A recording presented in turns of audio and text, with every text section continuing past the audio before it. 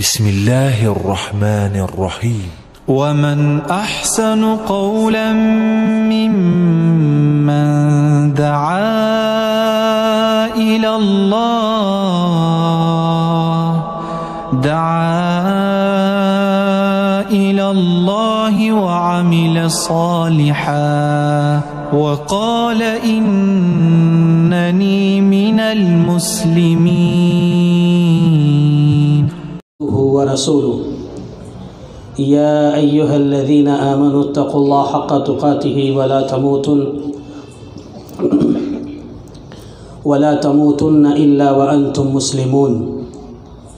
يا أيها الناس اتقوا ربكم الذي خلقكم من نفس واحدة وخلق منها زوجها وبث منهما رجالا كثيرا ونساء واتقوا الله الذي تساءلون به والأرحام إن الله كان عليكم رقيبا.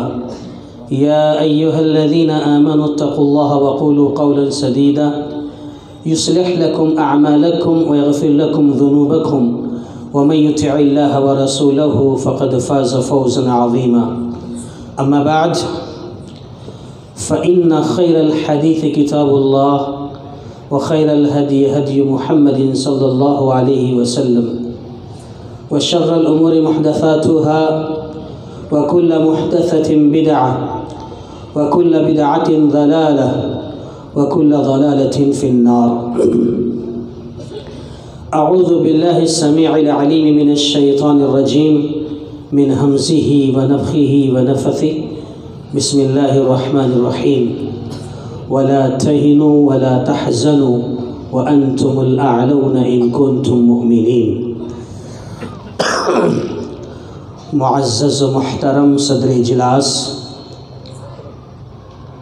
رونق اسٹیج، علماء کرام، بزرگان دین، نوجوان دوستوں اور ساتھیوں، پردہ نشین ماں اور بہنوں۔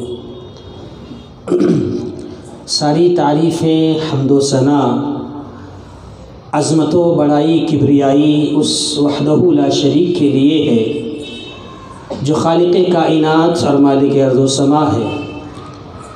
اس کے بعد بے شمار، بے انتہا درد و سلام نازل ہو۔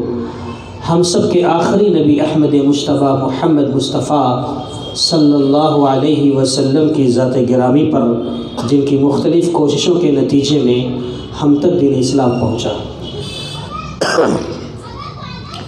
محترم حاضرین، بلا شبہ، اس وقت امت مسلمہ جن حالات سے گزر رہی ہے، یہ ملت اسلامیہ کی تاریخ میں انتہائی تاریخ دور کہلائے گا۔ اس وقت جو سنجیدہ مسلمان ہیں، جن کی نظریں دنیا پر ہے، عمومی طور پر وہ سمجھتے ہیں کہ عالمی سطح پر بھی سارا عالم اسلام اور ملکی سطح پر بھی جو ہماری حالت ہے یا جو حالات بنے ہوئے ہیں، یقیناً ناگفتہ ہیں۔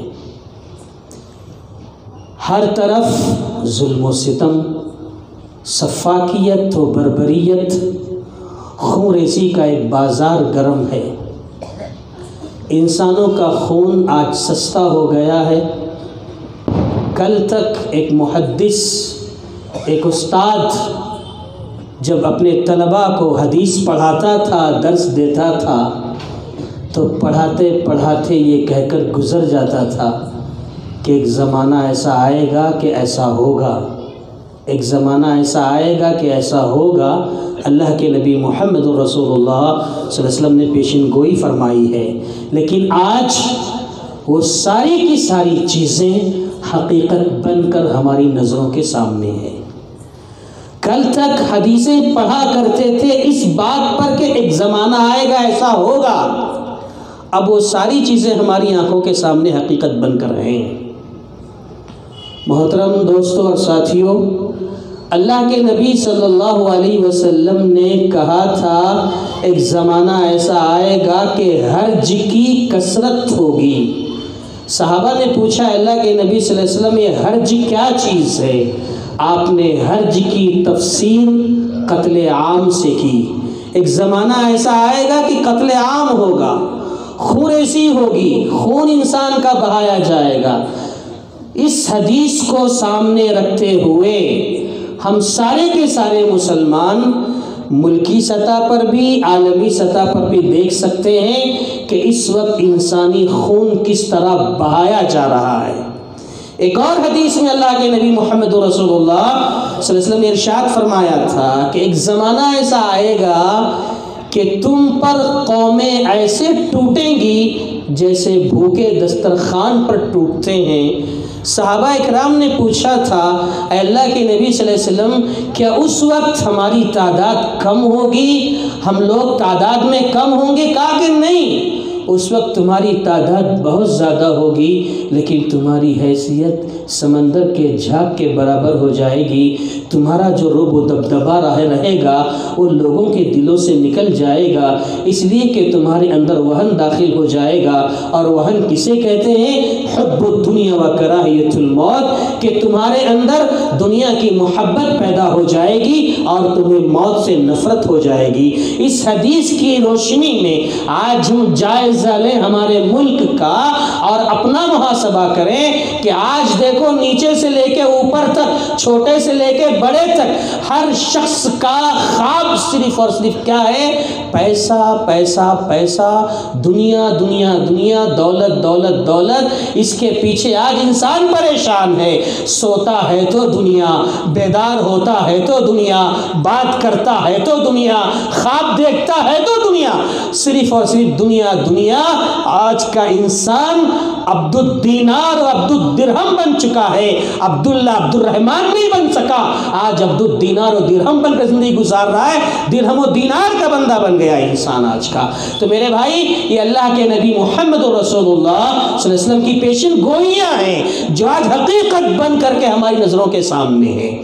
اب یہ حالات جو بنتے ہیں، کیوں بنتے ہیں؟ یہ حالات ایسے کیوں بنتے ہیں؟ اس کا ذمہ دار کون؟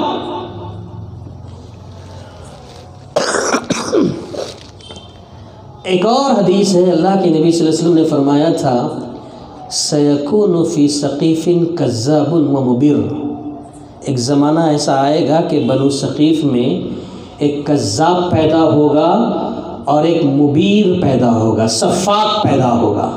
شارین حدیث نے اس کی تشریح کی کہ ایک زمانہ ایسا آئے گا کہ ایک کذاب پیدا ہوگا، اس سے مراد مسلمہ کذاب جس نے نبوت کا دعویٰ کیا، اپنے آپ کو نبی کہا۔ اور دوسرا جو صفاق پیدا ہوگا، اس سے مراد حجاج بن یوسف الثقفی تھا، جس نے قتل عام کیا۔ انسانوں کا خون بہایا۔ حجاج بن یوسف الثقفی کا ظلم و ستم یہ سب پر آیا ہے۔ جب وہ ظلم و ستم کر رہا تھا لوگوں کا قتل عام کر رہا تھا۔ ایسے موقع پر وہاں کے مسلمان اس وقت کے امام امام حسن بصری رحمۃ اللہ علیہ کے پاس پہنچے اور ان سے جب سارے احوال کو سنایا کہ حجاج بن یوسف نے تو انتہا کر دی ہے ظلم کی، قتل عام کر رہا ہے۔ تو اس وقت حسن بصری رحمہ اللہ نے فرمایا تھا، ما جاء الحجاج الا بذنوبنا یہ رونا تم مت رو۔ رونے کا حق تمہیں نہیں ہے۔ ان حالات کو تم نے بنایا ہے۔ کیا ہے؟ حجاج کو دعوت تم نے دی ہے۔ حجاج کو ہم نے بلایا ہے۔ ہمارے اپنے گناہ ہیں۔ ہماری اپنی معصیتیں ہیں۔ ہماری اپنی نافرمانیاں ہیں۔ ہمارے اپنے اللہ سے بغاوتیں ہیں۔ شرک ہے، کفر ہے۔ اللہ کی سرزمین پر اللہ سے بغاوت ہے۔ جس کی وجہ سے حجاج ہم پر مسلط۔ یہ ایک بہت بڑا سبق ہے، بہت بڑی بات امام حسن بصیر رحمۃ اللہ علیہ نے فرمائی تھی کہ حجاج کو ہم نے دعوت دی ہے۔ اسی پر آپ قیاس کر لیجیے کہ حالات جب بدلتے ہیں بگڑتے ہیں تو اس کے ذمہ دار ہم خود ہوتے ہیں۔ اللہ نے فرمایا، وَمَا أَصَابَكُم مِّن مُّصِيبَةٍ فَبِمَا كَسَبَتْ أَيْدِيكُمْ وَيَعْفُو عَن كَثِيرٍ۔ جو کچھ ہو رہا ہے، یہ تمہارے اپنے ہاتھوں کی کمائی ہے۔ ارے، بہت سارے گناہ تو اللہ یوں ہی معاف کر دیتا ہے۔ تم معافی نہیں مانگتے ہو۔ بغیر معافی مانگے اللہ بہت سارے گناہوں کو معاف کر دیتا ہے۔ اللہ بعض گناہوں پہ گرفت کرتا ہے۔ تمہارے بعض گناہوں کی وجہ سے تمہیں پکڑتا ہے تو حالات ایسے بن جاتے ہیں۔ اللہ اکبر۔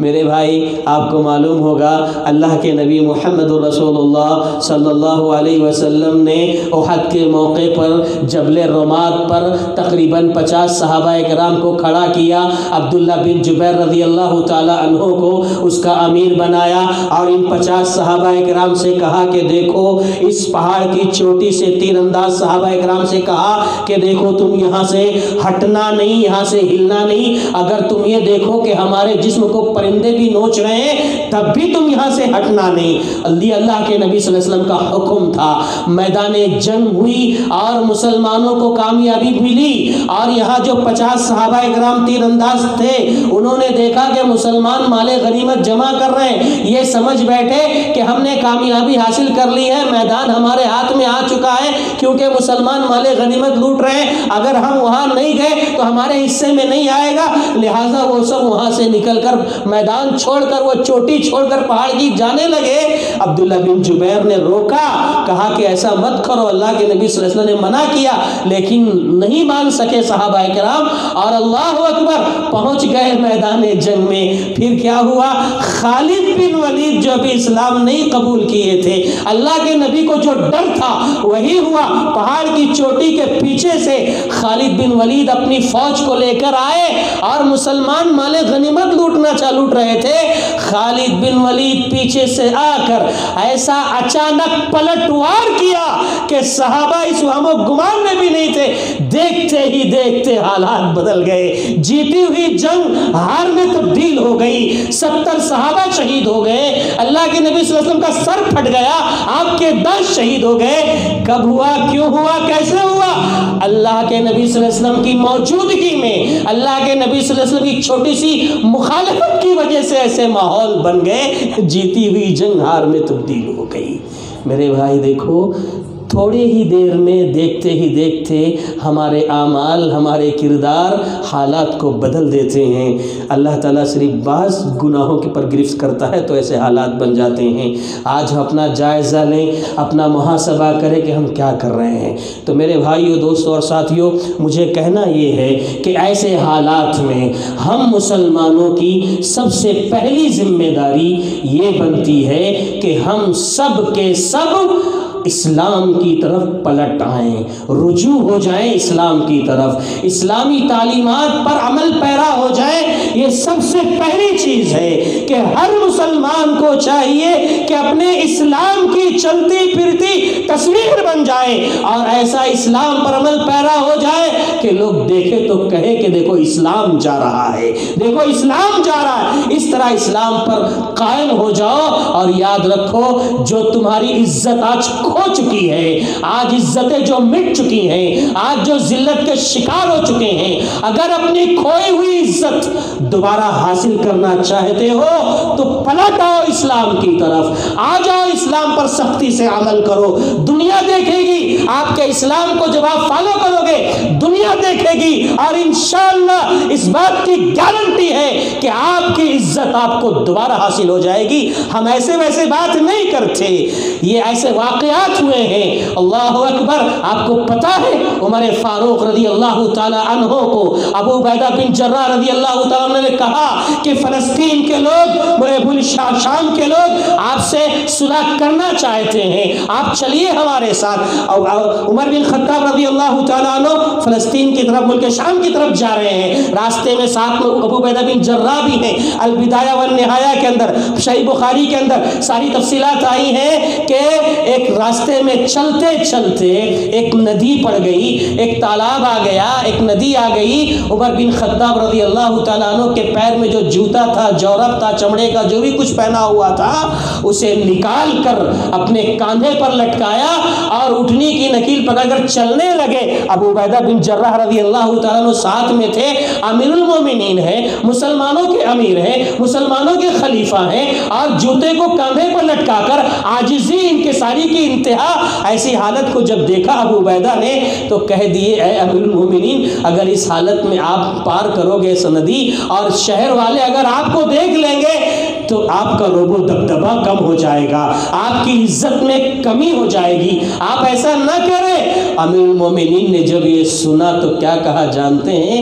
اے ابو عبیدہ، یہ جملہ جو تم نے کہا ہے، اللہ اکبر، لو یقول ذا غیرک یا ابا عبیدہ، اللہ کی قسم ہے۔ اے ابو عبیدہ، اگر یہ جملہ تمہارے علاوہ کسی اور نے کہا ہوتا جعلتہ نکالا لامتی محمد صلی اللہ علیہ وسلم۔ میں اسے ایسی سزا دیتا کہ قیامت تک آنے والوں کے لیے یہ سزا سبق بن جاتی اور سنو ابو بیدا تم کیا سمجھتے ہو کہ یہ ہمارے یہ ہمارے جوتے، کپڑے، لباس سے ہماری عزت ہے؟ سنو، انا کننا ازل قوم۔ ہم تو ذلیل تھے، ہماری کوئی حیثیت نہیں تھی، ہماری کوئی وقت نہیں تھی۔ ارے ذلیل کیسے تھے؟ آپ سب جانتے کہ عرب کے اندر ایک پیدا ہونے والی معصوم سی بچی کو زبا دفن کر دیا کرتے تھے۔ کہتے ہم ذلیل تھے ابو عبیدہ فعزنا اللہ بالاسلام اللہ نے ہمیں اسلام کے ذریعے عزت بخشی ہے۔ اے ابو بیدہ سنو، اگر کوئی شخص اسلام چھوڑ کر کہیں اور عزت تلاش کرے گا، اللہ اسے ذلیل کر دے گا۔ لا تہنوا ولا تحزنوا وانتم الاعلون ان کنتم مؤمنین تم ہی سربلند رہو گے تم ہی کامیاب رہو گے تمہاری ہی عزت ہوگی، تمہاری ہی، تمہارا ہی نام ہوگا۔ تمہارا تمہیں ہی شرافت ملے گی۔ شرط یہ ہے کہ تم صحیح معنوں میں مومن بن جاؤ، صحیح معنوں میں اسلام کے پیروکار ہو جاؤ۔ تو سب سے پہلا کام جو ہم سب کو اس ملک میں رہتے ہوئے کرنا ہے، وہ یہ کہ ہمیں اپنے اسلام سے جڑ جانا ہے، اپنے رب سے تعلق مضبوط کر لینا ہے، اپنے رب سے رشتہ استوار کر لینا ہے۔ یہ سب سے پہلا کام ہے۔ اور دوسرا کام، میرے بھائی، باتیں بہت ساری ہیں، لیکن میں سمجھ رہا ہوں شاید میں آگے زیادہ دیر بول بھی نہیں پاؤں گا۔ اس لیے حالات کے پس منظر میں میں آپ کے سامنے ایک دوسری آپ کی بات، آپ کو دوسری طرف لے کر جانا چاہ رہا ہوں کہ دیکھو، شاید میں جو بتانے چاہ رہا ہوں باتیں، وہ باتیں اس میں آ جائیں گی۔ ایک بات حالات کے تحت موجودہ حالات میں جو کچھ ہو رہا ہے، جو کچھ چل رہا ہے، ہم سب سے مخفی نہیں ہے، پوشیدہ نہیں ہے۔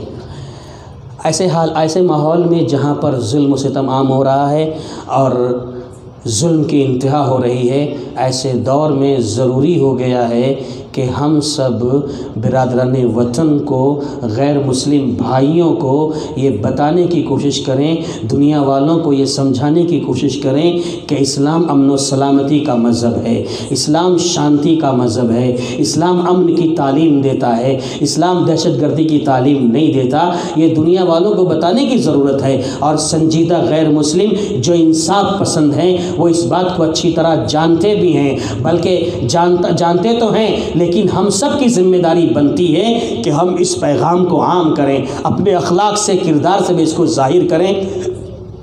اور سمجھائیں کہ لفظ اسلام کے اندر ہی سلامتی ٹپکتی ہے۔ اسلام کا معنی ہی سلامتی ہے، امن ہے۔ ایک مسلمان جب دوسرے مسلمان سے ملتا ہے تو السلام علیکم کہہ کر سلامتی کا نذرانہ پیش کرتا ہے۔ سلامتی کی امن و امان کی دعائیں کرتا ہے۔ اور ایک تعلیم یہ بھی دی گئی اسلام مسلمانوں کو، جب وہ چاند دیکھے تو چاند دیکھتے وقت دعا پڑھے اللہم اہل علی نبی الامن والایمان والسلامتی والاسلام۔ اس میں میں یہ تعلیم دی جا رہی ہے۔ چاند دیکھنے کے بعد دعا کرو، اللہ یہ جو مہینہ اب آنے جا رہا ہے، اس مہینے کو ہم سب کے لیے امن و امان کا ذریعہ بنا دے، سلامتی کا ذریعہ بنا دے۔ یہ پورا مہینہ ہم سلامتی کے ساتھ گزارے۔ اے اللہ، اس طرح تو ہماری مدد فرما۔ یہ دعا سکھائی اسلام نے۔ آج دنیا والوں کو ڈنکے کی چوٹ، یہ بتانے کی ضرورت ہے۔ اور دعوے کے ساتھ بتانے کی ضرورت ہے۔ اور اللہ کی قسم ہے، دنیا کا کوئی ایسا مذہب نہیں ہے جو اس طرح امن و امان کی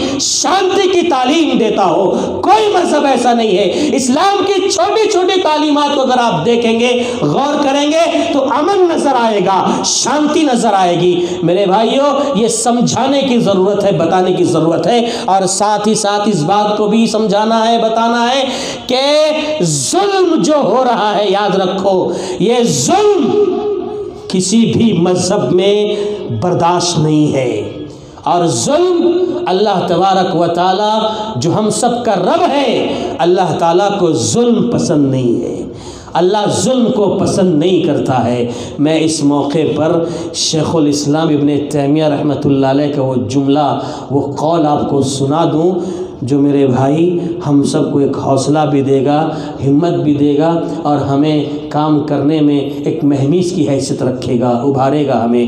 شیخ الاسلام ابن تیمیہ رحمۃ اللہ علیہ نے کہا، کیا کہا؟ ان اللہ تعالی یقیم الدولت العادلت وان كانت کافرا ولا یقیم الدولت الظالمہ وان كانت مسلمہ.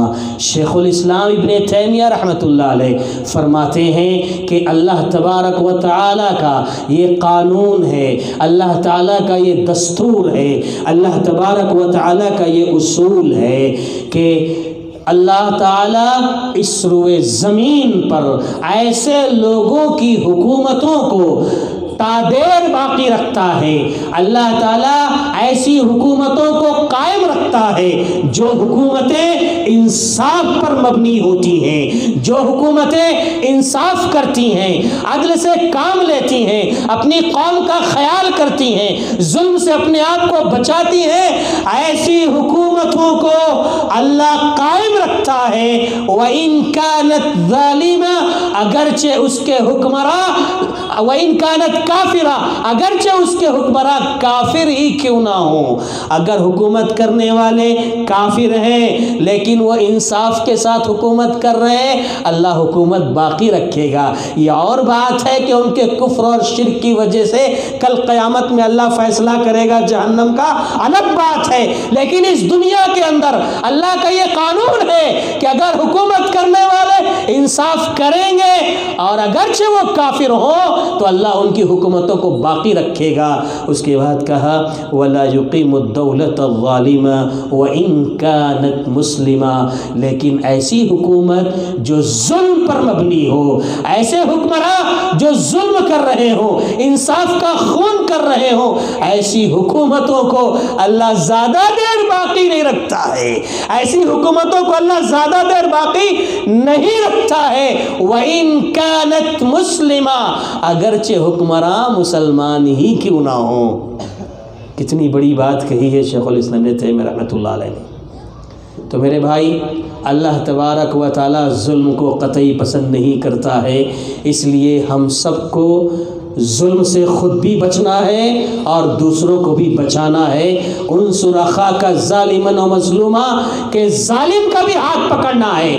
ظالم ظلم کر رہا ہے تو اس کو ظلم سے روکنے کے لیے جتنی بھی آپ کے پاس قوتیں ہیں، صلاحیتیں ہیں، آپ روکنے کی کوشش کرو، مظلوم کی مدد کرو، یہ اسلام کی تعلیم ہے میرے بھائی۔ اب وہ کیسے ہوگا؟ میں انشاءاللہ آگے بتا رہا ہوں۔ ظلم کا بدلہ لینا لیا جا سکتا ہے، لیکن ظلم کا بدلہ کس طریقے سے لیا جائے گا؟ میں ابھی آپ کے سامنے آگے انشاءاللہ بتا رہا ہوں۔ لیکن میرے بھائی، کہنا یہ ہے کہ اس بات کو یاد رکھو کہ اللہ تبارک و تعالی ظلم کو پسند نہیں کرتا ہے اور جو کچھ ہو رہا ہے، ظلم جتنا بھی ہوگا، جیسا بھی ہوگا اس کو زیادہ دیر تک رہنا نہیں ہے۔ اللہ تعالیٰ اسے زیادہ آگے نہیں بڑھائے گا۔ شرط یہ ہے کہ مسلمان سچے مسلمان ہو جائیں۔ شرط یہ ہے کہ مسلمان اپنے رب سے رجوع ہو جائیں۔ شرط یہ ہے کہ مسلمان اپنے رب سے تعلق مضبوط کر لیں اللہ تعالیٰ ظالموں کو زیادہ دیر تک باقی نہیں رکھتا ہے۔ جب ظلم گزرتا ہے، حد سے قدرت کو جلال آ جاتا ہے۔ فرعون کا سر جب اٹھتا ہے ہے تو موسا کوئی پیدا ہوتا ہے۔ اور اللہ کے نبی محمد الرسول اللہ صلی اللہ علیہ وسلم نے بیان فرمایا ہے۔ اس بات کی وضاحت فرمائی ہے۔ حدیث قدسی ہے۔ اللہ تعالیٰ فرماتا ہے، لَأَنصُرَنَّكَ وَلَوْ بَعْدَ حِينَ۔ اس سے پہلے کی حدیث، اس سے پہلے کے ٹکڑے میں کہا گیا اتقو دعوت المظلوم۔ مظلوم کی بد دعا سے بچو۔ اور آگے کے آخری ٹکڑے میں کہا گیا ہے، اللہ تعالیٰ فرماتا ہے، لَأَنصُرَنَّكَ حِينَ کہ دیکھو، تمہیں گھبرانے کی ضرورت نہیں ہے۔ مظلوم بنے ہوئے ہو، زیادہ پریشان نہیں ہونا۔ میں تمہاری مدد ضرور کروں گا۔ اگرچہ تھوڑا وقت لگے گا، اللہ کے پاس دیر ہے، ضرور دیر ہے، لیکن اندھیر نہیں ہے۔ اللہ کی مدد ضرور آئے گی۔ لیکن شرط یہ ہے کہ صبر کا دامن تھامو۔ اللہ کی ذمہ داریوں کو پوری کرو۔ اور مظلوم جو ہوگا، اللہ تعالیٰ اس کی فریاد ضرور سنتا ہے۔ میں آپ کو ایک بات بتا دوں، حدیث کے اندر خود آتا ہے کہ دیکھو، دعا کی قبولیت کے لیے ایمان شرط ہے۔ دعا کی قبولیت کے لیے ایمان شرط ہے، لیکن بد دعا کی قبولیت کے لیے ایمان شرط نہیں ہے۔ اگر ایک مسلمان کسی غیر مسلم بھائی پر ظلم کرے گا اور غیر مسلم مظلوم بن گیا اور اس کی آہ نکل گئی اور مظلوم نے اللہ سے فریاد کر لی، تو مسلمان ہی کیوں نہ ہو؟ اللہ اس مظلوم غیر مسلم کی بد دعا کو سنے گا اور اس ظالم مسلمان پر ایکشن لے گا۔ مظلوم کی بد دعا اللہ قبول کرتا ہے۔ اور ایک غیر مسلم مظلوم ہے، اللہ اس کی بد دعا سن رہا ہے، قبول کر رہا ہے۔ تو مسلمان اگر مظلوم ہو جائے اور مسلمان اللہ سے فریاد کر لے، تو کیا اللہ مسلمان کی نہیں سنے گا؟ اگر مسلمان صحیح معنوں میں دیندار ہو تو اللہ نہیں سنے گا؟ ضرور سنے گا۔ میں آپ کو ایک چھوٹا سا واقعہ سناتا ہوں۔ بڑا مشہور واقعہ ہے۔ سعد بن نبی وقاص رضی اللہ تعالیٰ عنہ ایک صحابی ہیں۔ آپ نے ان کا نام سنا ہوگا، سعد بن نبی وقاص رضی اللہ تعالیٰ عنہ۔ امیر المومنین عمر بن خطاب رضی اللہ تعالیٰ عنہ نے ان کو کوفہ کا گورنر بنایا تھا، کوفہ کا امیر بنایا تھا۔ یہ وہاں کوفہ میں نگرانی کر رہے تھے، عمارت سنبھال رہے تھے، گورنری کر رہے تھے۔ کچھ دنوں کے بعد کوفہ سے ایک خط پہنچا۔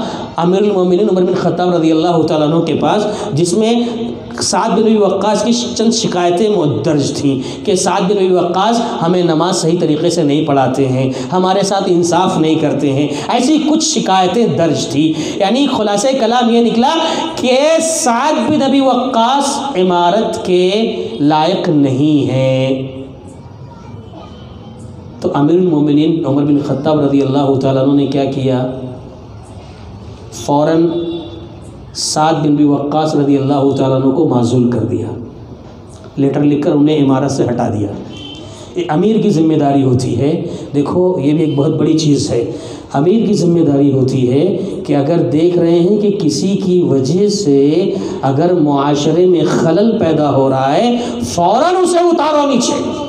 فوراً معزول کرو اسے۔ قوم میں انتشار، قوم میں اختلاف یہ ایک امیر کی ذمہ داری ہوتی ہے کہ برداشت نہ کرے۔ سعد بن نبی وقاص کوئی مجرم نہیں تھے، اس نے غلط بیانی سے کام لیا تھا۔ لیکن ابی المومنین نے فوراً معذور کیا، انہیں ہٹایا عمارت سے۔ اور اس کے بعد تحقیق کے لیے ایک ٹیم روانہ کی کہ جاؤ کوفہ میں سعد بن وقاص کے حوالے سے ریسرچ کرو، غور کرو، لوگوں سے پوچھو کہ سعد تمہارے درمیان کیسے ہیں۔ ٹیم گئی کوفہ میں لوگوں سے سوال کر رہی ہے، پوچھ رہی ہے، مسجدوں میں جا رہی ہے۔ ہر طرف سے خبر اچھی آ رہی ہے کہ سعد ابن ابی وقاص بہت اچھے ہیں تمہارے درمیان۔ بہت اچھے ہیں۔ ہمارے درمیان بہت اچھے ہیں۔ اچھے امیر ہیں ہمارے۔ لیکن ایک قبیلے کی ایک مسجد میں جب پہنچے، وہاں ایک شخص کھڑا ہوا اور اس نے کہا کہ ہاں سعد بن ابی وقاص ہمارے درمیان تو ہیں، لیکن ہمارے ساتھ انصاف نہیں کرتے ہیں۔ ہمارے ہمیں نماز صحیح طریقے سے نہیں پڑھاتے ہیں، فلاں فلاں کام نہیں کرتے ہیں۔ اس طرح کی جب باتیں کیں، سعد بن نبی وقاص رضی اللہ تعالیٰ عنہ جو ایک صحابی ہیں، اور آپ کی شخصیت پر جب چوٹ پہنچی، آپ پر جب الزام لگایا گیا، آپ کو تکلیف پہنچی، دل ہل گیا۔ سعد بن وقاص رضی اللہ تعالیٰ عنہ کا اور برداشت نہیں ہو سکا۔ اس طرح سے بے عزتی ہوئی کہ سعد بن نبی وقاص سے برداشت برداشت نہیں ہو سکا میرے بھائی، فوراً ان کی زبان سے چند جملے نکلے بدعا کے جملے نکل گئے اور سعد بن وقاص رضی اللہ تعالیٰ عنہ نے کہہ دیا، اللہم ات العمر و ات الفقر و للفتن. اے اللہ، اس نے، جس نے مجھ پر الزام لگایا ہے، یہ تو جھوٹا ہے ہی ہے۔ اے اللہ، اگر یہ جھوٹا ہے، تو اے اللہ، میری یہ دعا ہے کہ اس کی عمر کو لمبی کر دے۔ اس کا فقر و فاقہ بھی لمبا کر دے اور اے اللہ اسے فتنوں میں مبتلا کر دے۔ اللہ اکبر، یہ تین بد دعائیں کی۔ سعد بن بھی وقاص رضی اللہ تعالیٰ عنہ نے اللہ نے ایک مسلمان کی، ایک صحابی کی، زبان سے نکلے ہوئے جملے کی۔ اللہ نے لاج رکھ لی اور اسے قبول کر لیا۔ وہ شخص جس نے الزام لگایا تھا، لمبی عمر اس نے پائی۔ لمبی عمر ایسی پائی، گال پچک گئے، لٹک گئے۔ آنکھوں کی پلکیں بالکل ایسی جھریوں جیسی ہو گئی نیچے لٹک رہی تھی۔ اور اتنی لمبی عمر اس نے پائی کہ لنگڑا لنگڑا کا لاٹھی ٹیک ٹیک کر وہ چلتا تھا۔ اور فقر و فاقہ بھی ایسا لمبا ہوا کہ کھانے کھانے کے لیے دانے دانے کا محتاج ہوا۔ کہیں سے بھی کچھ ملتا تو منہ میں ڈال لیتا۔ اور فتنوں میں مبتلا ہوا ایسا کہ بوڑھا ہو چکا ہے، کمزور ہو چکا ہے، کمر جھک چکی ہے، گال ڈچک چکے ہیں، سب لٹک رہے ہیں۔ یہاں وہاں جو آنکھیں پلکیں ہیں، سب جھول رہی ہیں۔ حالت نازک ہے۔ ایسے میں جب وہ راستے سے گزرتا تھا، تو وہاں سے جب کوئی نوجوان لڑکی گزرتی، اسے چھیڑتا ہوا گزرتا اور لوگ اسے پتھروں سے مار مار کے اس کا مذاق اڑاتے تھے۔ پھر وہ کہتا تھا اسابتنی دعوت و سعد اسابتنی دعوت و سعد، کہ مجھے سعد بن نبی وقاص کی بد دعا لگ چکی ہے۔ مجھے سعد بن نبی وقاص کی بد دعا لگ چکی ہے۔ میرے بھائی، میں یہ بتانا چاہتا ہوں کہ جب ایک مسلمان اگر سچا مسلمان ہے، بس صرف اتنا کہ اس کی شان میں گستاخی کر دی گئی، اس کی شان میں گستاخی کی گئی، الزام لگایا گیا، چند جملے بولے گئے، اور وہ سچا مسلمان ہے۔ زبان سے جب بدعا نکل جاتی ہے، اللہ تعالیٰ قبول کر لیتا ہے۔ تو میرے بھائی، ایسے ایسے حالات بنیں گے، ظلم اتنا زیادہ ہوگا، اور اگر مسلمان سچا بچہ ہے اگر کر دیا، تو حالات کو بدلتے وقت نہیں لگے گا۔ میرے بھائی ایسے حالات بنے ہوئے ہیں اور یہ ہم ذرا دیکھیں۔ ابھی کچھ دنوں پہلے آسٹریلیا میں آگ لگ گئی تھی، فاقے ہو رہے تھے، لوگ محتاج تھے اور پریشان ہو گئے تھے۔ ایسے میں سچے مسلمانوں کی ایک جماعت میں صلاح استسکا پڑی اور اللہ تعالیٰ نے بارش کا نزول فرمایا۔ دنیا نے دیکھا کہ مسلمانوں کی دعاؤں میں اتنی تاثیر ہے کہ جہاں بارش نہیں ہو رہی تھی، وہاں بارش ہونے لگی۔ ابھی دیکھو میرے بھائی اللہ کا عذاب کیسے آ رہا ہے؟ اللہ کا عذاب کیسا کیسا کیسا آتا ہے؟ ابھی دیکھو چائنا میں کیا ہو رہا ہے؟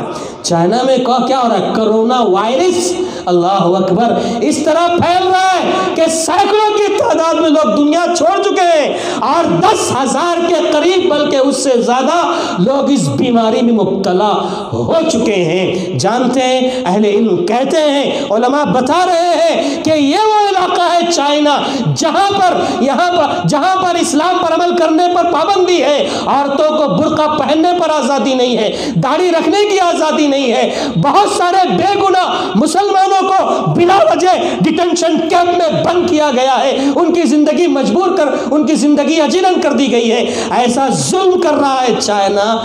تو اللہ کی گرفت آ گئی ہے، اللہ کی پکڑ آ گئی ہے۔ بولنے والے کیا کیا بول رہے ہیں؟ یہ لوگ کتا کھاتے ہیں، بلی کھاتے ہیں، سانپ کھاتے ہیں، پچاسوں سال سے کھا رہے تب کیوں نہیں ہوا؟ یاد رکھو، حالات جب بدلتے ہیں تو ایک سنجیدہ مسلمان کو سمجھنے کی ضرورت ہے۔ اللہ نے گرفت شروع کر دی ہے۔ اللہ کی پکڑ آ رہی ہے اور یہ دنیا کے ہر ان لوگوں کو سوچنے کی ضرورت ہے کہ اللہ کے پاس دیر ہے، اندھیر نہیں ہے۔ اللہ پکڑے گا اور آپ نے سنا بھی ہوگا۔ ہوگا۔ سنا بھی ہوگا کہ چائنا کے صدر نے دعا کی درخواست کی ہے مسلمانوں سے۔ جب دیکھا ہے آسٹریلیا میں دعا کی گئی تھی، بارش ہونے لگی تو مسلمانوں سے درخواست بھی کی گئی ہے کہ مسلمان ذرا دعا کریں کہ چائنا کی حالت سدھر جائے۔ میرے بھائی، یہ حالات ہیں۔ تو میں کہنا چاہتا ہوں، اگر ظلم انتہا کو پہنچے گا تو اللہ تبارک و تعالیٰ ضرور اس کا انتقام لے گا۔ اللہ ضرور بدلہ لے گا، لیکن شرط یہ ہے کہ ہم امن و امان کے ساتھ، شانتی کے ساتھ اسلام پر قائم رہیں، عمل پیرا رہیں۔ میں اب آپ کے سامنے تھوڑی دیر یہ یہ بتاتا چلوں کہ دیکھو، اگر ظلم ہو رہا ہے تو اسلام ہمیں ظلم کا بدلہ لینے کی اجازت دیتا ہے۔ میں یہ دو چار باتیں کر کے ایک دو باتیں کر کے ختم کروں گا کہ اگر آپ پر ظلم ہوتا ہے تو ظلم کا بدلہ آپ لے سکتے ہو۔ اس کے کئی طریقے اسلام میں بتائے گئے ہیں۔ پہلا طریقہ یہ ہے ظلم کے بد ظلم کا بدلہ لینے کا۔ کہ اگر آپ کے ساتھ کوئی ظلم کرتا ہے، تو جتنا اس نے ظلم کیا ہے، اس کے برابر آپ بدلہ لے سکتے ہو۔ جیسے کہ اللہ نے کہا جزا سیت سیت مسلحہ کہ جتنا آپ کے ساتھ ظلم ہوا ہے، اتنا آپ بدلہ لے سکتے ہو۔ اسلام نے اجازت دی ہے، تعریف نہیں کی ہے۔ یہاں سمجھ کے چلیں آپ۔ اجازت دی ہے بدلہ لینے کی۔ لیکن اس کی مدع نہیں کی ہے، تعریف نہیں کی ہے، اجازت ہے آپ کو۔ یہ ایک طریقہ ہے۔ اور دوسرا طریقہ اسی آیت میں آگے بتایا گیا ہے۔ اور یہ جیسے کہ میں نے کہا، دنیا کا کوئی مذہب یہ ثابت نہیں کر سکتا ہے کہ وہ اتنا زیادہ امن و امان والا مذہب ہے۔ یہ اسلام ہی مذہب ہے جو امن و شانتی کی تعلیم دیتا ہے۔ اس سے پتہ چل رہا ہے کہ ظلم کا بدلہ، ظلم کا جواب کیسے دیا جائے۔ ایک تو ظلم کا بدلہ لینے کی ذات ہے، دوسرا اس آگے بتایا گیا فمن عفا و اسلح فاجرہ اللہ یاد رکھو، اگر آپ پر ظلم ہو رہا ہے، کسی پر ظلم ہوا، اگر اس نے ظلم کا بدلہ، پہلا جو طریقہ تھا، وہ بدلہ نہیں لیا، معاف کر دیا، معاف کر دیا، تو اللہ نے کیا کہا؟ فاجرہ اللہ اس کا عجر جو ہے اللہ کے پاس ہے۔ یعنی اس کی کوئی گنتی نہیں ہے۔ اللہ تعالیٰ نے اعمال کا اعمال کا جو اجر و ثواب رکھا ہے، ستر سے لے کر سات سو گنا تک بتایا ہے گنتی تعداد۔ لیکن بعض اعمال ایسے ہیں جن کی گنتی نہیں اللہ نے بتائی ہے۔ اس کے اجر کا معاملہ ایسا ہے کہ اللہ بے شمار دے گا، بے حد و حساب دے گا، اللہ نے اس کو اپنے پاس رکھا ہوا ہے۔ کئی اعمال، جیسے ایک عمل صبر کا ہے۔ جو کہا جاتا ہے، ہمارے علماء کہتے ہیں نا، صبر کرو صبر کرو، صبر بڑی دولت ہے۔ وہ ایک عمل وہ ہے کہ صبر کرنے والوں کو بے شمار اللہ اجر و ثواب دیتا ہے۔ ان نماز صابر اجرہم بغیر حساب۔ بغیر حساب کے، بغیر گنتی کے اللہ تعالیٰ ثواب دیتا ہے اجر دیتا ہے ان لوگوں کو جو لوگ صبر کرنے والے ہیں۔ اور کچھ لوگ ایسے ہیں جو روزے دار ہیں، رمضان کے جو روزے رکھتے ہیں نا۔ کہا نا اللہ کے نبی نے، اللہ تعالیٰ فرماتا ہے اسوم علی و انا اجزی بھی کہ روزہ میرے لیے ہے اور میں ہی اس کا بدلہ دیتا ہوں، تو یہ روزے دار کو بھی اللہ تعالیٰ بے شمار اجر و ثواب دیتا ہے، اس کی کوئی گنتی نہیں ہے۔ اور تیسرا یہی ہے کہ کیا کرنا ہے؟ افا معاف کر دینا ظالم کو۔ فاجرہ اللہ اس کا اجر اللہ تبارک و تعالیٰ کے پاس ہے۔ بے شمار اللہ اجر سے نوازتا ہے۔ یہ دو طریقے، یہ بہت بڑی تعلیم ہے میرے بھائیوں ظالم کو معاف کر دینا، یہ بہت بڑا سبق ہے۔ اور ایک تیسری بات جو قرآن کی تعلیم ہے، ہمیں سمجھ میں آتا ہے۔ اللہ تعالیٰ فرماتا ہے، ولا تستویل حسنت ولا سیاح ادفع بلتی ہی احسن کہ دیکھو، برائی اور اچھائی دونوں برابر نہیں ہو سکتے ہیں۔ تم کیا کرو، برائی کا بدلہ اچھائی سے دو۔ اگر کوئی تمہارے ساتھ برائی کر رہا ہے، بد اخلاقی سے پیش آ رہا ہے، تو تم اس کے ساتھ اچھا سلوک کرو۔ اخلاق سے پیش آؤ۔ ہوگا کیا؟ فیض الزی بین و بین ہوں ادا وطن کان ہوں ولی العمیم فائدہ اس کا یہ ہوگا کہ تمہارے اور ان کے درمیان جو دشمنی نظر آ رہی ہے، اللہ اس کو گہری دوستی میں تبدیل کر دے گا۔ گہرا دوست اللہ تعالیٰ بنا دے گا۔ میرے بھائی، کتنی بڑی بات کہی ہے قرآن نے کہ برائی کا بدلہ اچھائی سے دو۔ اللہ اکبر، یہ دنیا والوں کو بتاؤ۔ یہ اسلام و مذہب ہے جو ایسے امن کی اخلاق کی تعلیم دیتا ہے۔ کہ ظلم کرنے والوں کے ساتھ نہ یہ کہ ان کا ظلم صرف معاف کر دیا جائے، بلکہ ان کے برائی کا بدلہ اچھائی سے دیا جائے۔ یہ اسلام کی تعلیم ہے میرے بھائی، یہ اسلام سکھاتا ہے کہ اچھائی سے اخلاق سے تعلیم، اخلاق سے دل جیتنے کی کوشش کرو۔ اور ایک بات یہاں پر یہ اسی ضمن میں کہ بدلہ آدمی نہیں لیتا ہے، معاف کر دیتا ہے۔ کیوں؟ کیونکہ اس کے پاس بدلہ لینے کی طاقت نہیں ہے، یہ کمال نہیں ہے۔ اگر آپ پر ظلم ہو رہا ہے، آپ بدلہ لینے کی طاقت رکھتے ہو آپ خاموش نہیں بیٹھو گے۔ آج کیا بولتے ہیں؟ اینٹ کا جواب۔ اینٹ کا جواب۔ غلط مثال ہے یہ۔ پتہ نہیں کس نے بنایا ہے۔ یہ اسلامی تعلیم نہیں ہے اینٹ کا جواب پتھر سے دو۔ غلط مثال ہے یہ۔ اینٹ کا جواب پتھر سے دو۔ یہ اسلام نہیں سکھاتا۔ اینٹ کا جواب پتھر سے اسلام کی تعلیم نہیں ہے۔ ظلم کا بدلہ معاف کر کے لو، برائی کا بدلہ اچھائی سے دو۔ اور کب کمال ہوگا جب آپ کے پاس بدلہ لینے کی طاقت ہے۔ لیکن پھر بھی آپ اعلیٰ اخلاق، اعلیٰ کردار کا مظاہرہ کرتے ہوئے معاف کر رہے ہو، برائی کا بدلہ اچھائی سے دے رہے ہو، طاقت ہونے کے باوجود بدلہ نہیں لیتے۔ یہ اعلیٰ درفی کی بات ہے، یہ بہت بڑی بات ہے۔ میں آپ کو کہا مثال دیتا ہوں۔ پیارے نبی محمد الرسول اللہ صلی اللہ علیہ وسلم مکہ سے طائف گئے تھے۔ مکہ سے طائف گئے۔ طائف والوں نے کیا کیا تھا آپ کے ساتھ؟ آپ کا مذاق اڑایا تھا، آپ کو گالیاں دی تھیں، آپ کو پتھروں سے مار مار کر آپ کے جسم کو لہو لہان کر دیا تھا۔ آپ تڑپ اٹھے تھے میرے بھائی، تڑپ اٹھے تھے اللہ کے نبی صلی اللہ علیہ وسلم۔ بہت زیادہ پریشان ہوئے تھے۔ آپ، اور ایک زمانے تک آپ نے طائف کا سفر بھولا نہیں۔ طائف کے زخم آپ کو یاد رہے۔ یہاں تک کہ ابھی میں نے ذکر کیا جنگ عہد کا واقعہ۔ اس موقع پر عائشہ صدیقہ رضی اللہ تعالیٰ نے پوچھا تھا، اے اللہ کے نبی صلی اللہ علیہ وسلم، یہ غزوہ احد میں آپ کے دانت شہید ہو گئے، آپ کا سر پھٹ گیا، ستر صحابہ شہید ہو گئے۔ آج کا دن تو بڑا سخت دن تھا۔ اے اللہ کے نبی، کیا اس سے بھی زیادہ سخت دن کبھی آپ کی زندگی میں آیا ہے؟ ہاں عائشہ، طائف کا دن نہیں بھولتا ہے۔ طائف میں اللہ کے نبی صلی اللہ علیہ وسلم کو بہت تکلیف پہنچی، بہت تکلیف پہنچی۔ میرے بھائی، اس کا ہم بیان اس کو بیان نہیں کر سکتے ہیں۔ ایک سچا مسلمان جب سیرت پڑھتا ہے اور سنتا ہے، طائف کے واقعے کو تو سیرت کے باب میں ایسا واقعہ ہے کہ دل ہل کر رہ جاتا ہے۔ کتنی تکلیف پہنچی ہوگی اللہ کے نبی صلی اللہ علیہ وسلم کو طائف میں۔ ایسے موقع پر اللہ تبارک و تعالیٰ نے فرشتوں کو بھیج دیا اور فرشتوں کو حکم دے دیا کہ جاؤ میرے نبی کے پاس، وہ کیا کہتا ہے دیکھو، آئے فرشتے اور اللہ کے اللہ کو سب پتہ ہے، لیکن دیکھو اللہ تعالیٰ اپنے نبی کو حوصلہ دے رہا ہے۔ آئے فرشتے اور کہتے ہیں، محمد صلی اللہ علیہ وسلم، آپ کے ساتھ جو ظلم ہوا ہے، آپ کے ساتھ آپ کی قوم نے جو کیا ہے، اگر آپ اشارہ کر دو، اللہ نے ہمیں بھیجا ہے، ان لوگوں کو پہاڑوں کے بیچ میں رکھ کر پیس دیا جائے گا، چکنا چور کر دیا جائے گا۔ بس ایک اشارہ کر دو آپ۔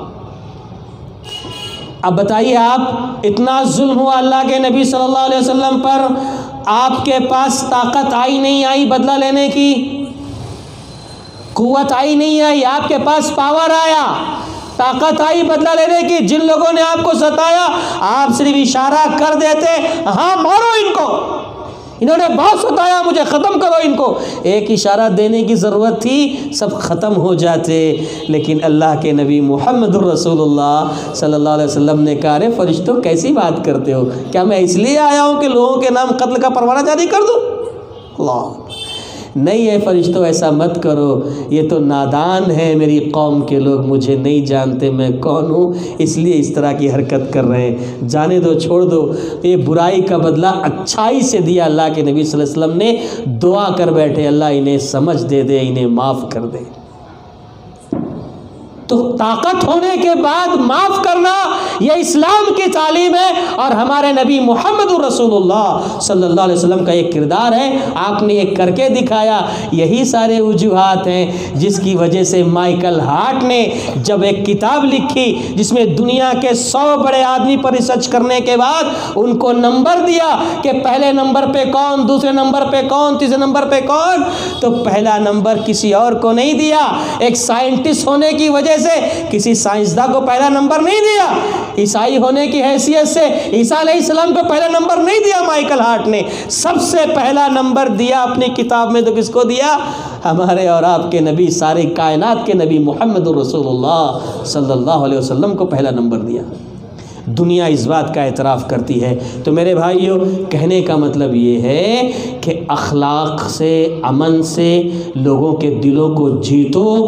میں ایک بات بتا کر بات ختم کر رہا ہوں۔ بہت ساری مثالیں ہیں، بہت سارے واقعات ہیں اور یہ مثالیں میں کئی جگہ دے بھی چکا ہوں۔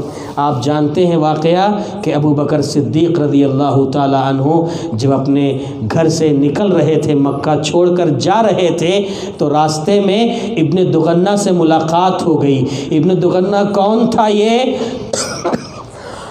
Ugh. کافر تھا وہ مشرق تھا وہ اور مکہ کے سرداروں میں سے ایک سردار تھا۔